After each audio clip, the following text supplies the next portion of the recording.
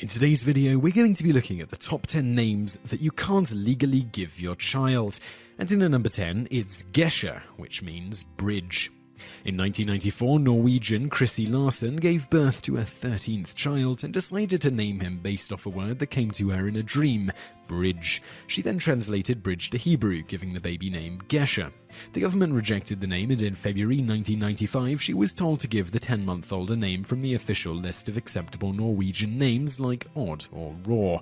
If she didn't change the name, she was looking at a $420 fine or two days in jail. Larsen went to prison rather than admit wrongdoing and said that even though she lost the fight in court and would choose a name from the list, the family would still call him Gesher. Number 9. Nutella. Up until 1993, France had a list of official names that new parents had to pick from. After 1993, they were allowed to pick almost anything they wanted. While there haven't been too many outrageous names, one that caught the attention of the courts was a daughter being bestowed with Nutella.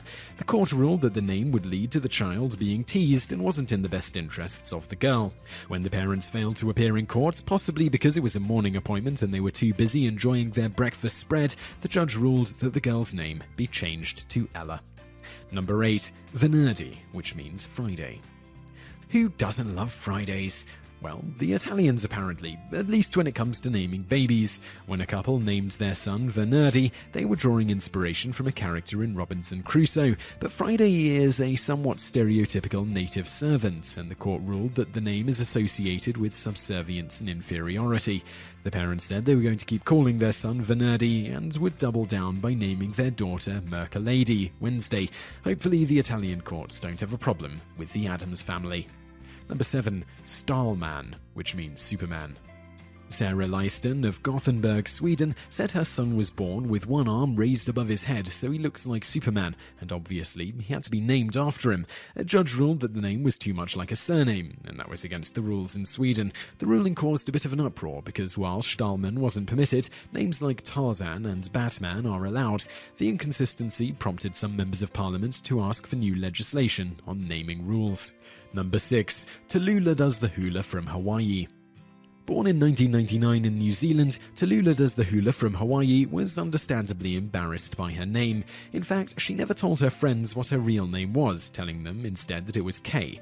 When she was nine, her parents separated and she went to court as part of the process. The judge found out she hated the name and made her a ward of the state so she could change it.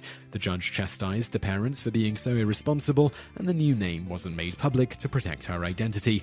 And that's not the only time New Zealanders have had a problem with naming children because, in at number 5, New Zealand's other banned names.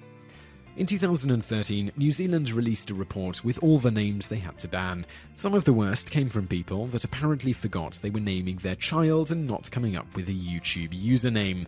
One couple tried to name their child Mafia No Fear, when another couple saw the sonogram of their baby for the first time and realized it was for real, they named him For Real, and yes, that's with the number 4. Finally, for unknown reasons, someone tried to name their child Anal. Even stranger are the names that were allowed. Twins were named Benson and Hedges after the cigarette brand. Then there was Violence, number 16, Bus Shelter, and Poor Talula. Number 4, Sonora, Mexico's banned names.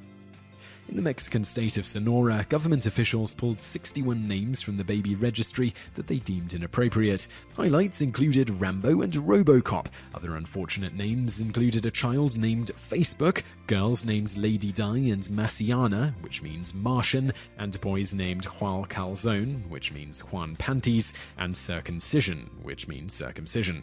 The children with these names will be able to keep them. Lucky them, but they'll be banned for any future children. Number 3. Osama bin Laden. Less than a year after the September 11 attacks, a Turkish couple living in Cologne, Germany, tried to name their son Osama bin Laden. The name was banned because the German government has two very strict rules when it comes to names. It has to clearly identify the person as male or female, and it can't be offensive. You get one guess as to which of the two rules Osama bin Laden violates. German officials also pointed out that they could have banned it on the grounds of the name being equally illegal in the couple's home country of Turkey, so they really had no hope of naming their child after one of the most hated men on the planet. Number 2. Saddam Hussein. There are some people who just like to provoke others and create controversy. It's one thing for adults to do that on their own, but it's a whole different matter when they bring their newborn children into it, which brings us to a father in Brazil, Osvaldo Oliveira Soares, who tried to name his son Saddam Hussein in 2001. Luckily, citing the welfare of the child, the courts intervened and told Soares to get a less dictatorial name. If that wasn't bad enough, nine years later he tried another name too, Osama bin Laden, and again the court courts intervened. Presumably, if he has any further children, he's going to go for broke and attempt to name them Super Hitler. And speaking of which, in at number one, it's Nazi names. If parent jail became a thing, Heath Campbell of New Jersey would be its first inmate. Campbell and his former wife, Deborah, who are avowed Nazis, had three children together. They named their son Antonio Adolf Hitler Campbell, but later dropped the first name because otherwise it just sounded ridiculous. Their daughter was Joycelyn Aryan Nation Campbell, and their third child, again a daughter, was given the name Honslin Himmler Janine Campbell in honor of Heinrich Himmler. The couple and their children's names came to the national spotlight in 2009 when a supermarket refused to write the name Adolf Hitler on a birthday cake. Shortly after that incident, the state took the children away and Heath and Deborah separated. Unfortunately, that didn't stop Heath from having more children with another woman. He had a son named Hans Heinrich, also named in honor of Himmler, and a daughter named Eva Braun. Both these children were taken away by the state hours after being born. Heath, who is illiterate and has been unemployed for most of his adult life, has gone to court a few times to fight for his children. Each time he went to court in full Nazi regalia, including a Hitler moustache and a large swastika neck tattoo. In total, Heath is believed to have nine children and doesn't have custody or visitation rights for any of them. We guess that's the closest thing to a happy ending a story like this can have.